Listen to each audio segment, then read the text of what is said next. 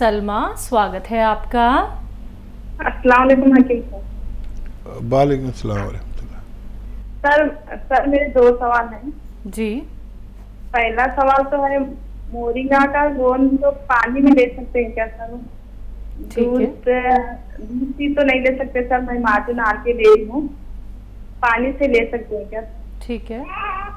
हाँ और एक सवाल है सर मेरे हस्बैंड को उनका कान में में टीप आ रहा है वो। वो हम्म। बह रहा है कान हम दूसरा भी है ट्रीटमेंट करें एलोपैथी लेकिन कम भी नहीं हो रहा है सर। वो उसकी क्या लेना चाहिए ठीक है। और ज़रूर आप गौन मोरिंगा पानी से ले सकते हैं एक ग्राम रोज़ाना। आपको इजाज़त है कि गौन मोरिंगा पानी से मिलाकर ले सकते हैं। और कान बहने के लिए कान वाले को भी दिखाएँ उसकी पूरी तशखीस कराएँ जाँच कराएँ और, डॉक्टरों की भी हेल्प ले सकते हैं। वो लोग अक्सर करके देखते हैं कि क्यों आ रहा है पानी या पस क्यों आ रहा है।